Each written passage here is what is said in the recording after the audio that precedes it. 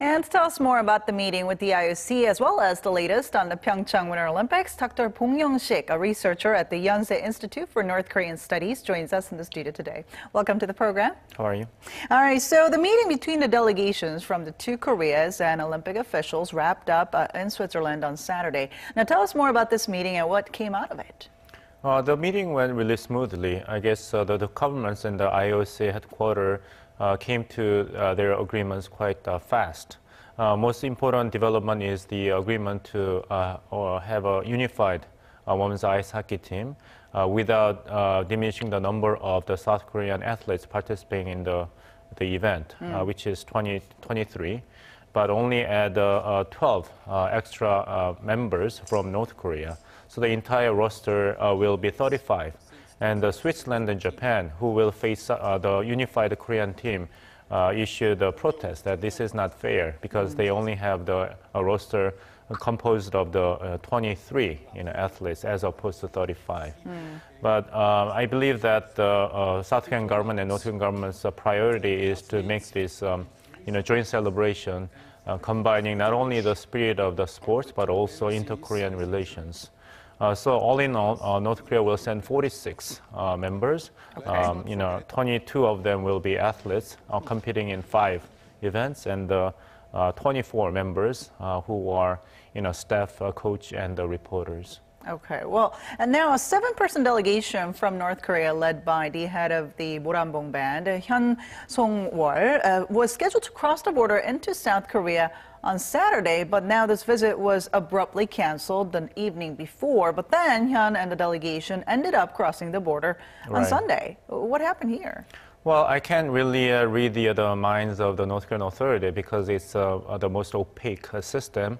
Uh, but uh, it has been reported that the North Korean authority wanted to increase the bargaining leverage on South Korean government by dictating uh, the schedule and the format of the inspection visit. Mm. And they also uh, express, uh, um, you know, discontent about the way uh, the South Korean media ha has been portraying uh, North Korea's participation in the Pyeongchang Winter Olympic Games. Mm. But I believe that uh, such uh, you know, behavior by North Korean government only shoot themselves at their feet because um, it is very important for North Korean authority to project the image of peace and cooperation uh, if it wants to, you know, uh, celebrate jointly the Pyeongchang Winter Olympic Games and uh, try to, you know, um, you know, project the image that the North Korean people are also pe uh, peace-loving, you know, people, uh, so that uh, economic sanctions and possible military actions in the name of denuclearization on North Korea mm. will be too harsh. Right. So projecting very, um, you know, harsh image or the engaging in a, you know, uh, you know, negative tactics towards the South Korean government, uh, which must be the best helping hand for North Korea uh, under the current circumstances, will be a backfire. Mm, it won't help them that much, no. right? All right. Well, Seoul will also be dispatching an advanced inspection team on, team on Tuesday, which is tomorrow. So, what will be what will the team be doing there? Well, it will be a delegation composed of the um, you know 12 members, led by the director of the Unification Division in the Ministry of National Unification, Mr. Lee Ju-tae. And the main mission is inspecting the facility of the Kumgang uh, you know, Art Center mm. and tourist site and the, the uh, Ski Resort for the joint events, uh, the concert, in the Mount Kumgang tourist site and the joint training of the skiers from both sides in the Masikryong Ski Resort. Hmm, I know you just mentioned it, but what significance does the joint cultural event in the Mount Kumgang region hold for inter-Korea relations? Um, it's, uh, uh, it has many layers. One, uh, it is an expression of the joint celebration of the Pyeongchang Winter Olympic Games. Uh, and the second, um, logistically, it is very important uh, for both Koreas to actually agree to open up uh, three main uh, uh, land routes uh, that connecting both sides. Mm. One is the west coast route, and the other one, which is called the Gyeongui line, uh, that has long been used as a main you know, uh, lane for the Kaesong Industrial Complex, which has been shut down since February 2016 in the aftermath of North Korea's nuclear test and missile test. Mm. And uh, uh, the, another uh, communication and transportation line has been the Panmunjom line, and the third one uh, is what you just mentioned, the uh, East Coast Line, uh, that connects the uh, Mountain Kumgang area and the uh, southern uh, part, part of South Korea. So uh, although it's a very symbolic and uh, temporary, but opening up all three main uh, landlines by the agreement of, of the both government has a very symbolic significance. And going along with that, I mean, I, I know those lines are opened up temporarily, but do you see chances of them being opened up permanently after? Well, there has been wild speculation, especially in the South Korean media, uh, that uh, this will eventually lead the, uh, the lot of the uh, resumptions of the uh, previous inter-Korean co- economic cooperation projects, such as the resumption of the Kaesong Industrial Complex or the uh, rebooting the tour program at Mount Kumgang and whatnot. But uh, we have to wait and see because uh, as uh, President Moon Jae-in himself uh, clearly announced in his uh, New Year's uh, press conference that all these measures uh, cannot be changed because these measures are in the framework of the United Nations Security Council resolutions, i.e., the economic sanctions on North Korea. Uh, although, uh, uh, technically speaking, um, uh, dispatching the athletes, skiers, to the uh, ski resort is in violation of the so-called uh, May 24 measures, uh, which bars any uh, visit by private South Korean citizens to any part of North Korea without government's uh, approval. Uh, but it's a temporary relaxing of the May 21st measure. But um, it is still uh, very uh, uncertain how these temporary measures will lead to any concrete outcomes in near future. Now, what about the military talks, which the two sides during their first face-to-face on January 9th agreed to hold? But what's the latest on that? Well, that's a, a very good question, and it has been quite strange that the North Korean authority has been extremely hesitant and reluctant to, you know, move along with these two uh, items. One is the acceleration of the, you know, military-to-military talk and the uh, family reunion program. Uh, with regards to these two agendas, North Korean authority has been extremely slow and passive. Um, I guess um, um, the main reason is that there is a gulf between uh, what South Korean government wants to achieve in the military-to-military talk, which is the, uh, the uh, prevention of the accidental military conflicts, and what North Korea uh, wants to have in the military-to-military talk, which is to a termination of the annual you know, joint uh, military exercises by the U.S. forces in South Korea and South uh, and U.S. military and the South Korean military. So I guess the North Korean authorities' own you know, strategic uh, judgment is that there is no need to rush into these two agendas. And I guess uh, questions lie over what path the two Koreas will end up taking after the Pyeongchang Winter Olympics. Yeah, there is a growing concern that uh, this might be just uh, peace and stability on the Korean Peninsula uh, that can only last two months during the uh, para uh, Pyeongchang Olympic Games and Paralympic Games. And well, we have to wait and see. The big strategy uh, for Moon Jae-in government is to make this as a good bridge between uh, thawing the tension between the two Koreas and the uh, beginning of the meaningful uh, bilateral uh, negotiations, diplomatic negotiation between Washington and Pyongyang on the issue of denuclearization of North Korea. But uh, if uh, North Korea will go back to its uh, usual attitude, um, uh, including resumption of the uh, provocations and uh, uh, additional test of uh, ICBMs, intercontinental ballistic missiles, or uh, new nuclear tests, And all bets, all bets uh, will be off the table.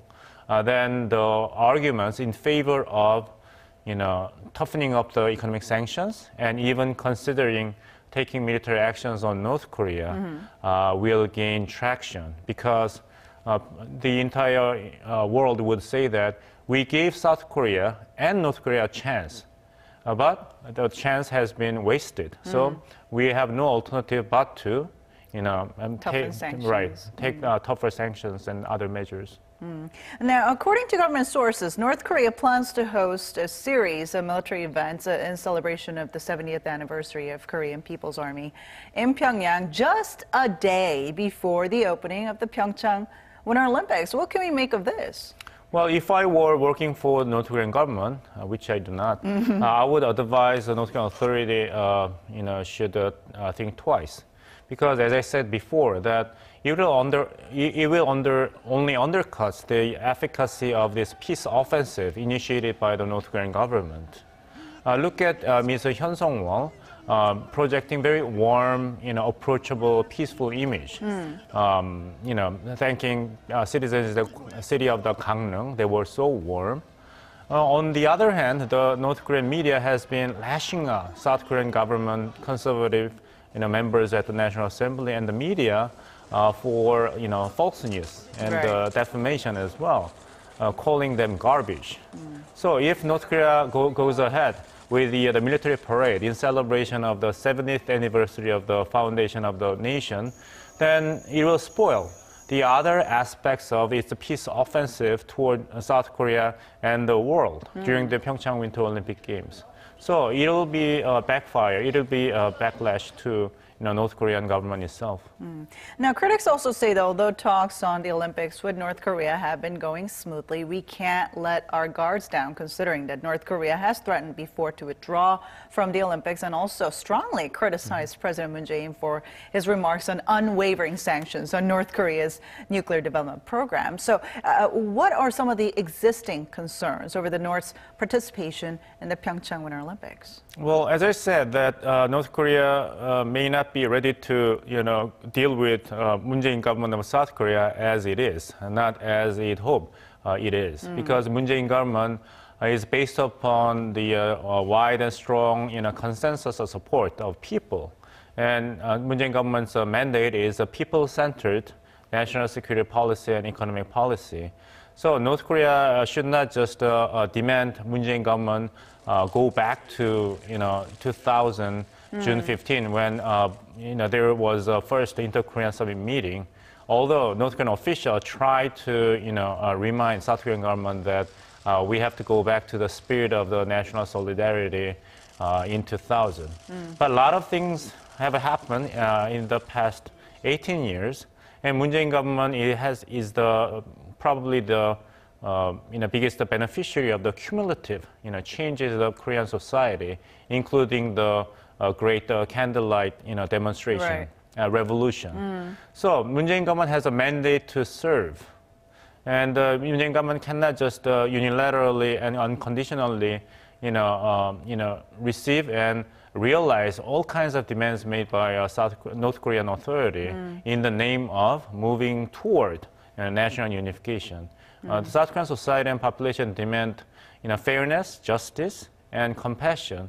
And Moon Jae-in government promised those, you know, uh, values to, you know, South Korean people. So North Korean government has to, you know, devise and revise its uh, engagement with South Korea, more uh, focus on actual improvement of the inter-Korean uh, relations and uh, making the Pyeongchang Winter Olympic Games truly a successful global event, not just the inter-Korean event. I mean, there has been some controversy and even opposition from within South Korea in regards to the North participating in the Pyeongchang Winter Olympics. Do you think the government has been handling this well Um, uh, it has been uh, sloppy and disappointing, uh, honestly speaking, because um, uh, Moon Jae-in uh, government announced its intention to invite North Korean athletes and delegation um, in June last year. So, although there had not been official confirmation by North Korean government until uh, December last year, and uh, uh, the actual decision was delivered in the New Year's uh, message uh, by uh, Chairman Kim Jong-un. But Moon Jae-in government had at least six months to prepare for all these contingencies, including the controversies uh, surrounding the government's unilateral decision without prior consultation with the, uh, the athletes and coach of the women's ice hockey team to make the unified team with the North Korean athletes. And uh, I think it really hurts the um, credibility uh, and the image of the Moon Jae-in government because uh, the biggest political capital of this government has been that this government is different from the previous government in terms Right. of you know, good communication uh, with people, uh, people-centered approach, and uh, compassion.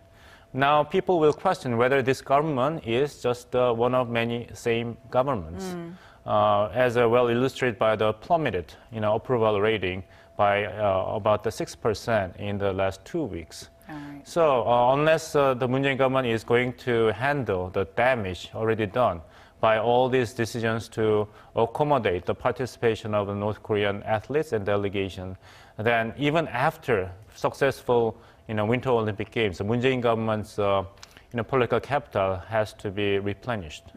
All right. Thank you so much for your insight today. You're welcome.